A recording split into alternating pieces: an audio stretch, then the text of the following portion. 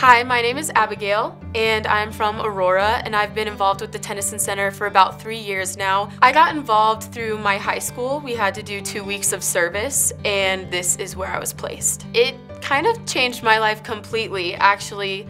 I am a dancer, and I was planning on moving to Los Angeles after my senior year of high school. And my second semester, my senior year, I came here for two weeks.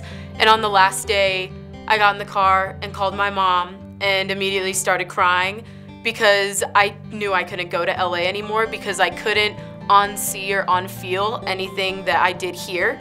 And I didn't feel comfortable leaving here because of the way that it impacted me. And now I'm still here. And I plan on applying this year actually to be a youth treatment counselor here. I think there's just such a huge stigma about a lot of the kids that go here or about the foster care system or about child welfare in general. And once you break those down and get to be part of these kids' lives, like I don't want to not be a part of their lives anymore because of how amazing so many of the kids here that I have met and how many people won't give them that chance. Anybody has a place at Tennyson because any kid has a place here that needs help as well.